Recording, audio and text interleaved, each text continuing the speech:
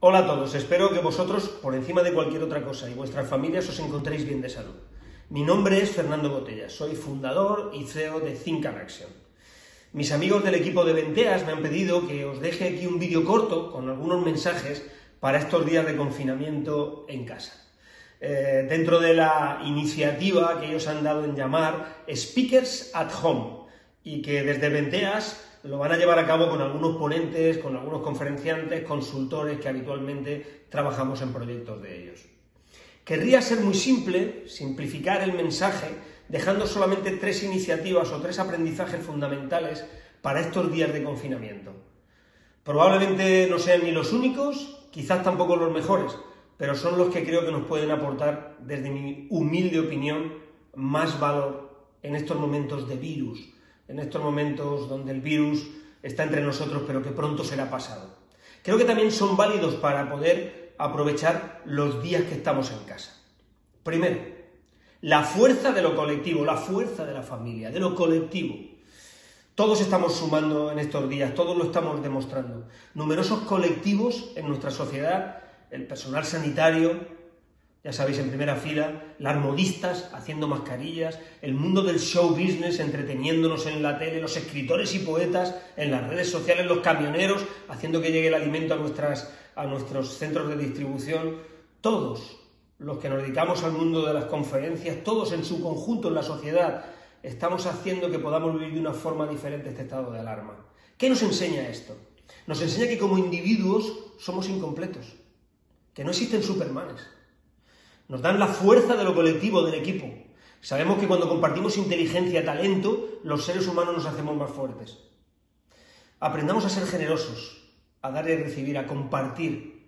El equipo siempre es más fuerte que el individuo, algo que ya sabíamos, pero que ahora de nuevo un virus nos lo demuestra. El segundo mensaje es el cuestionamiento del status quo.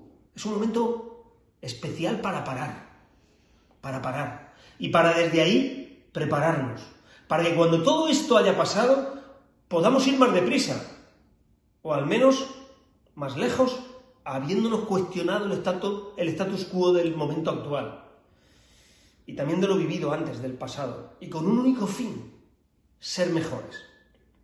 Ahora es el momento, yo así lo creo, de, de pararnos y preparar nuevos proyectos, nuevos contenidos, de pensar, de crear, de reorganizar, de valorar, de eliminar, de ampliar nuestros conocimientos.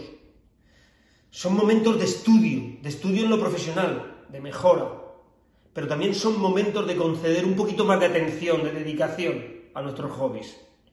En mi caso, por ejemplo, que me gusta la música, pues estoy aprendiendo ahora bajo, estoy estudiando bajo eléctrico y estoy dedicándome a esto del blues, del funky, del jazz. Ahí estamos, intentando mejorar poco a poco.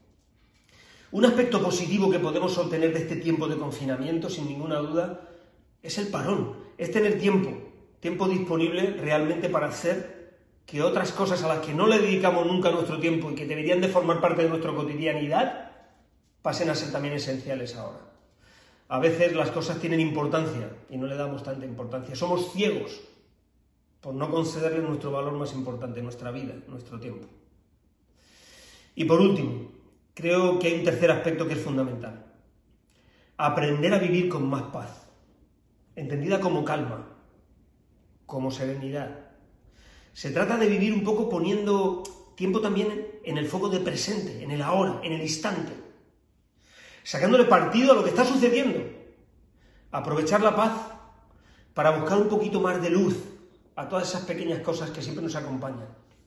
Esos estados normales de lo cotidiano que pueden parecer insignificantes, pero que nosotros no le damos valor, que muchas veces los ignoramos. Me refiero, por ejemplo, a recrearnos sin prisa en una buena lectura de un buen libro, o simplemente a dedicarnos a acariciar a nuestras mascotas si las tenemos, o a disfrutar de una buena peli, sin tener que estar todo el tiempo revisando el WhatsApp o el mail del móvil, o a mirar por la ventana, por la ventana ver hoy en día paisajes vacíos, vacíos que nos sirven para llenar nuestros pulmones de aire limpio, para evitar ese virus que nos hace tanto daño, para quedarnos en casa.